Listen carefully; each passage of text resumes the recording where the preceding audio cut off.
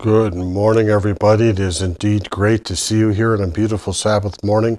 I am so happy that you have chosen to worship with us in Sheridan, that this is a very special day in which we have a baptism taking place in the Sheridan Church this, this morning. I am so happy that Doug has, has decided to give his life to Christ and become a member of the church in Sheridan. And so I, I ask that you keep all keep Doug in your prayers as, as he is taking this first step in the journey that will last the rest of his life. And I ask that you will continue to um, extend a hand of fellowship to him when you get a chance to be able to meet him. Shall we bow our heads in prayer? Our dear, kind, gracious, loving Heavenly Father, we First, thank you for this beautiful Sabbath day and for the many blessings that you bestow upon each of us during the week. We also ask a blessing upon Doug this morning as he has become a member of a member of the church in Sheridan, but more importantly, has given his life to you. And now, as we open the scriptures and begin to study together, I ask that you will send your Holy Spirit to give us wisdom and understanding, and that the words that I speak be your words and not mine. In Jesus' name, amen. Turn with me to the book of Romans, Romans chapter 6, verses 3 and 4. Romans chapter 6, verses 3 and 4. You know, some of you have already had the scripture reading this morning, but there are those that do watch online that do not get the benefit of that. So I would like to uh, be able to do that for them because it'll play a role into what's coming. Sometimes I use uh, the scripture reading as a setup, as a backdrop for what's happening in the sermon. Other times, like last week and this week, it's incorporated into the sermon and we'll come back. Romans chapter 6, verses 3 and 4. Romans chapter 6, verses 3 and 4. Or do not know that as many of us as were baptized into Christ Jesus were baptized into his death. Therefore, we are buried with him through baptism into death, that just as Christ was raised from the dead by the glory of the Father, even so we also should walk in the newness of life.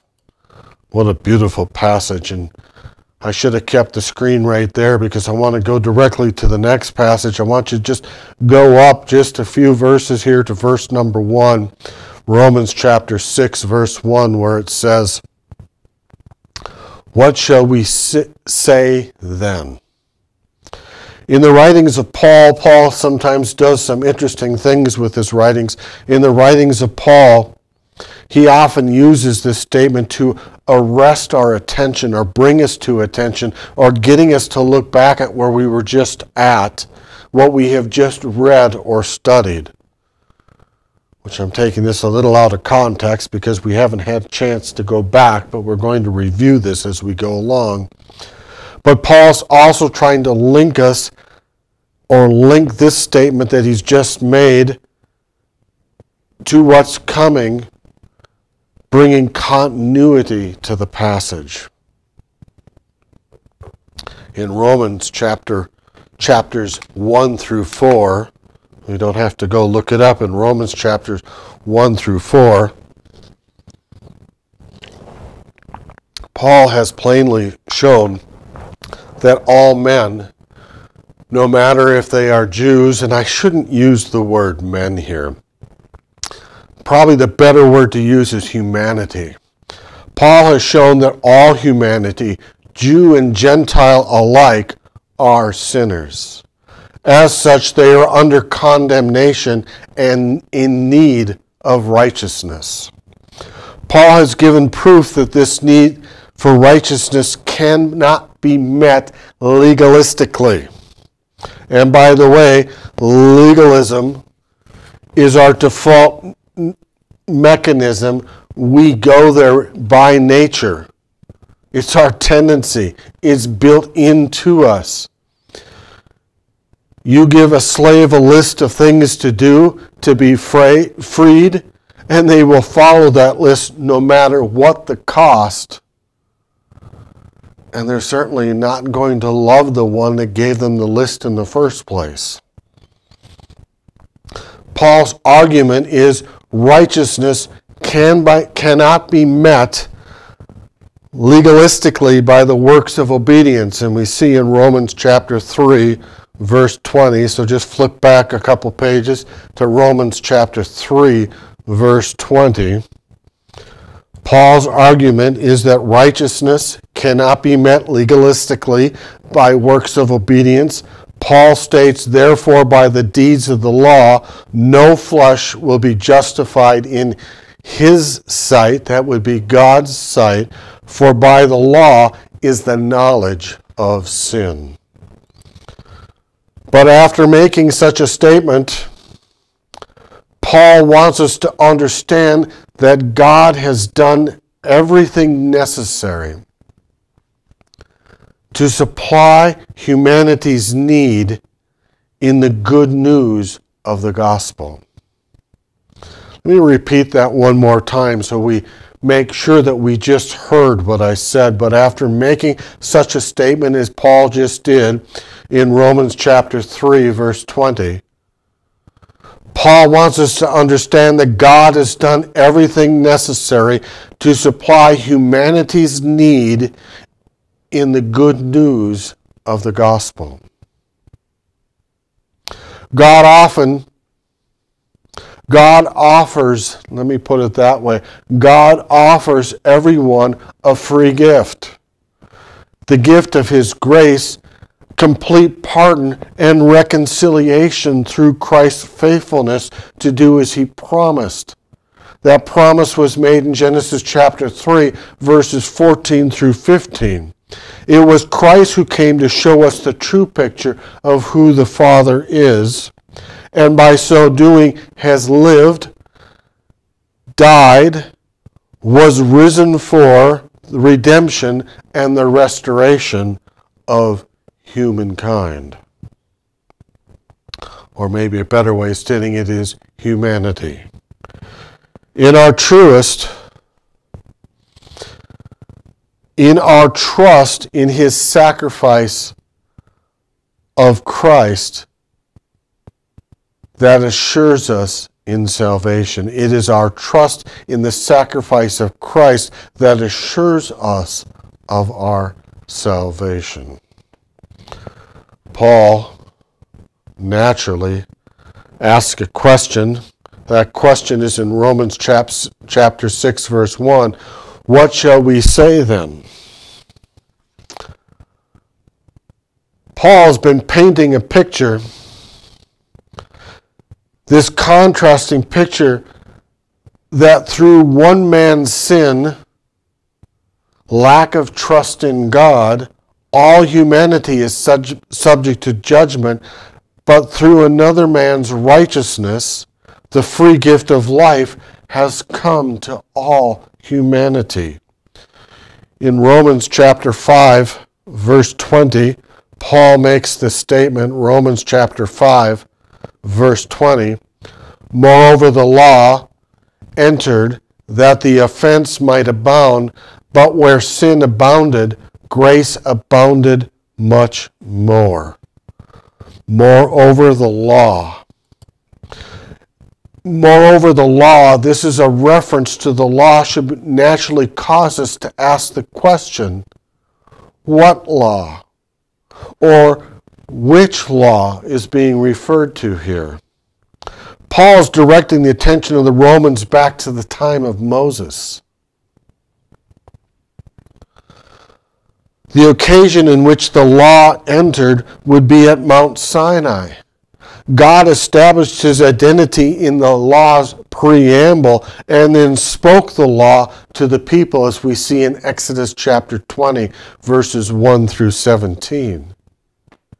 In essence, what God is saying, I am entering into covenant with you. And I promise to model that law and I, that I am going to give you. I am going to show you how to keep it. I want it to write it upon your hearts. That is my intent. That is what I would like to do, but you're not ready for that. So I'll write it upon two tablets of stone. Through trust in me, when you look upon the law, you will see things that, that you could not know were there without looking into the law or looking at the law. When you look upon the mirror or the reflection of my character, then you will see the dirt that is upon your face, that streak or that blemish that you could not see without first looking upon the law.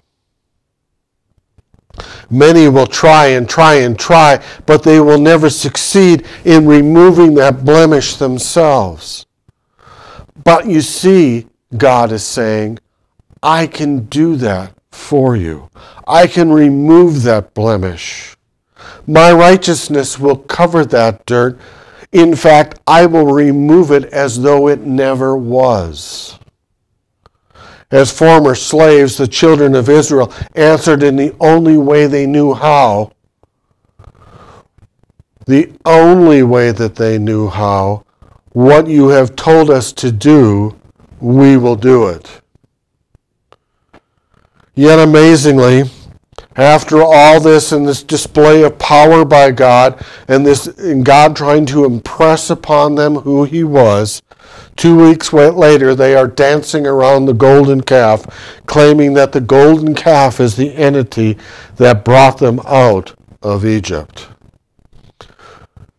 I don't want to use the word God was faced with a dilemma, but God had to modify his plan. He's good at modifying his plan to meet our human condition. And sometimes we get that wrong. We think we've got to modify ourselves to mold and fit what God's going to do, but God's going to meet us exactly where we're at every time. So God modifies his plan. He says, I must illustrate it to them. I must illustrate who I am and what my purpose is. I must show them what I'm willing to do for them. In Exodus chapter 19, verse 6, Exodus chapter 19, verse 6, God is speaking to Moses. You, and he's saying, Go tell the people, you shall be to me as a kingdom of priests and a holy nation. These are the words which you shall speak to the children of Israel. You see, God is saying, My desire for you, Israel, is for you to do the same work as I gave to Adam and Eve, and that is to tend and to keep. I've instilled with you my image Therefore, I want you to do the same thing that I asked Adam and Eve to do. I want you to tend and keep. But God can see this isn't going to work. So, after the golden calf story, and what an interesting and complicated little story that that golden calf story really truly is. After the golden calf story, God says, it's not going to work. He picks a tribe, the tribe of Levi, to become his kingly priests. And through their ministry, God chose to reveal himself to the people, to illustrate who God the Father is, what God the Father's character is like, and what God the Father is willing to do for all humanity. In Romans chapter 5, verse 20, Romans chapter 5, verse 20. You shall, um, moreover, the law entered that the offense might abound. What a confusing statement. Confusing enough that I lost my place there for a second. So in Romans chapter 5, verse 20, when it says, Moreover, the law entered that the offense might abound, God set the entire sanctuary on display, the entire sanctuary system on display to show what he was doing, to be able to open up his government to us so that there would be absolutely no questions as to what God's purpose was.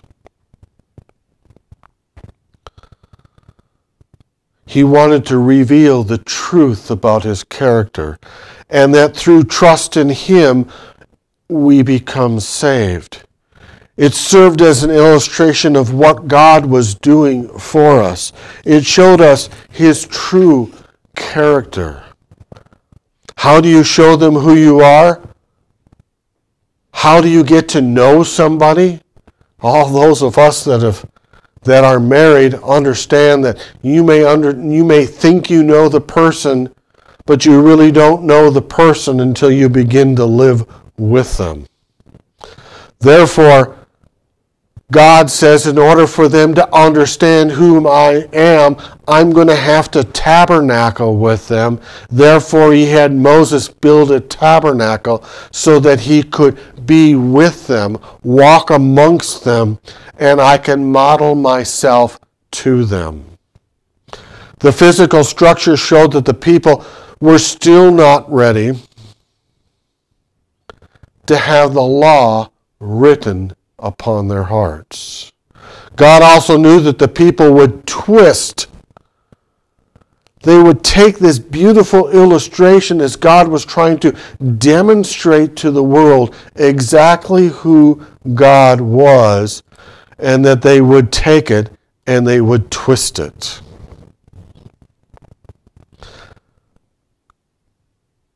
You see, they twisted it by thinking that they themselves were doing God a favor and that salvation came through what they were doing for God.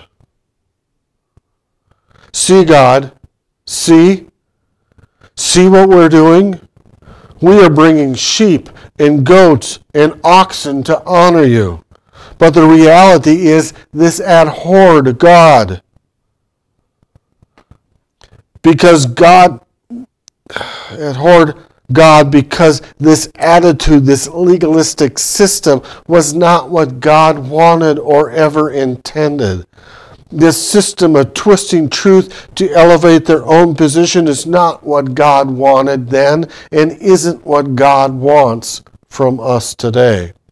The purpose of the system and the rituals was to reveal to us and them what God is doing for us. The sacrifices were to teach the gravity of sin and that sin brings death. So it wasn't about their doing, but what God was doing for them. For the entire system was to show it was through one man's death that all might live. Therefore, Paul asks, having understood all this, in Romans chapter 6, verse 1, what shall we say then? Shall we continue in sin that grace may abound? Paul answers that with a resounding, certainly not. Once we understand the true character of God and the nature of his sacrifice for us, as illustrated in the sanctuary and exemplified in the teachings and life and miracles of Christ. Our natural inclination should be our awe and respect for what he has done for us should cause us to want to follow Jesus to place our trust in Him, to carry out His work of righteousness in us and throughout the world. Certainly, as we continue that verse,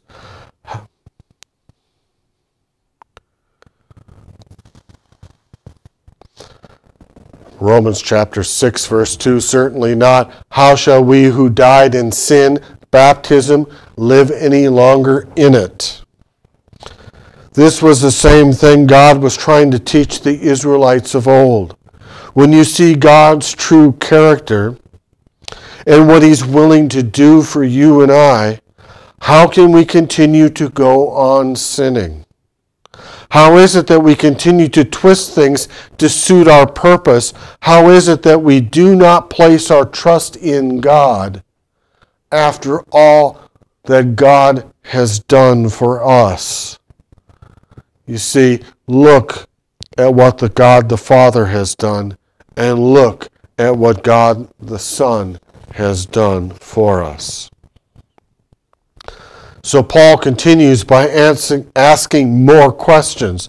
Finally, in verse 3 of Romans chapter 6, he says, Or do you not know, as many of us as were baptized into Jesus were baptized into his death? As believers in Christ, as believers in Christ, we place our trust in God and His faithfulness.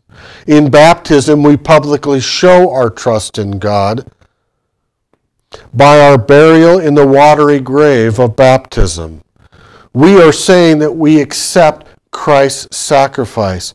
We are giving to Him all the impurity and filth that has filled our heart as Christ touched the leper, as Christ touched the crippled, as Christ touched the blind, the mute, the deaf, and even as Christ touched the dead, he remained untainted. Nothing around him caused him to become impure, and he will remove all the impurity from our lives as well. Therefore, we are dying to self and are resurrected to other centered love when we enter into that water and are lifted up.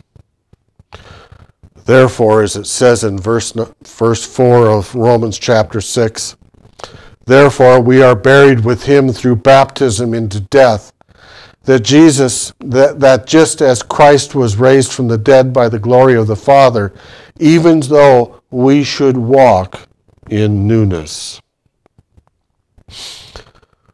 When he raised, when, when raised from the watery grave of baptism, we are awakening to and walking in the newness of life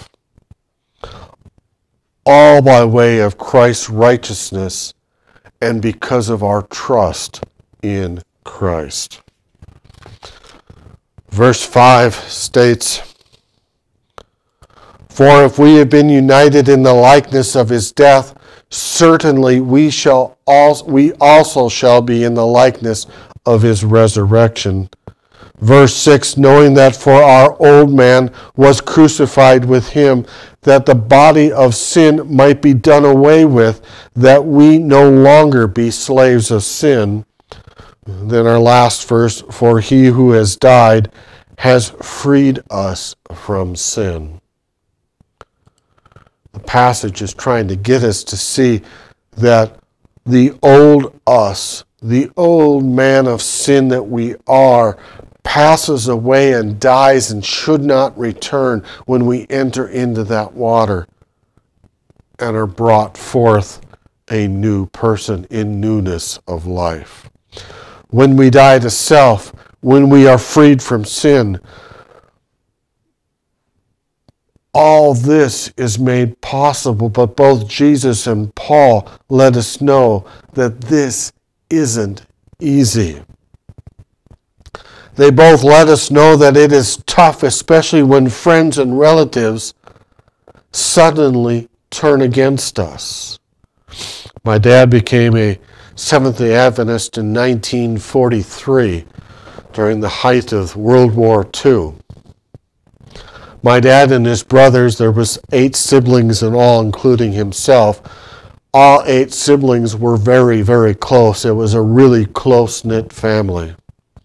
And my dad said, upon accepting this Seventh day Adventist message, upon being a Christian, not that they weren't Christians, he goes, but becoming a true Christian, a true follower of Christ, he goes, the relationship I had with my siblings was never the same.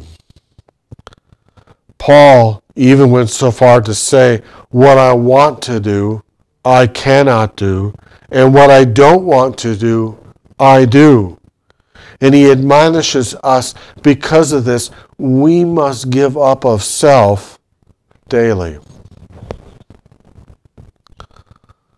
For the Old Testament people, their trust in God, they're looking forward to the event of Christ's death, burial, and, burial and resurrection, is counted to them as righteousness. When Abraham was asked to go sacrifice Isaac, Abraham fully trusted in God that God knew exactly what he was doing, even to the point that if Isaac's life had been taken, he was convinced that God would do something again for him and bring him another son.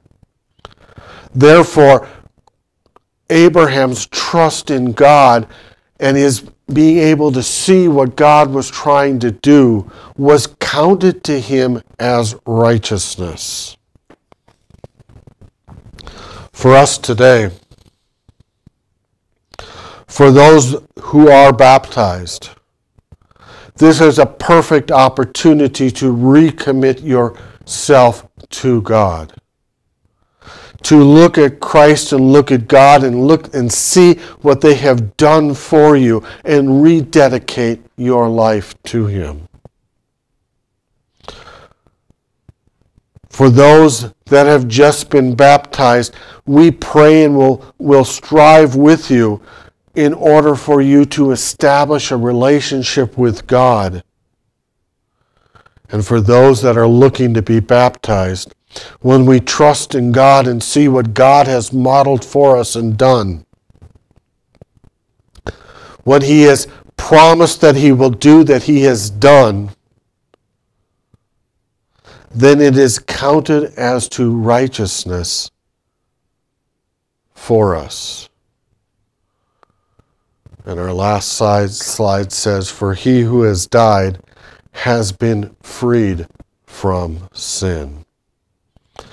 Christ is asking that daily we die to self and that we give our heart to Him so that He can write His law in our heart. He wants us to be kingly priests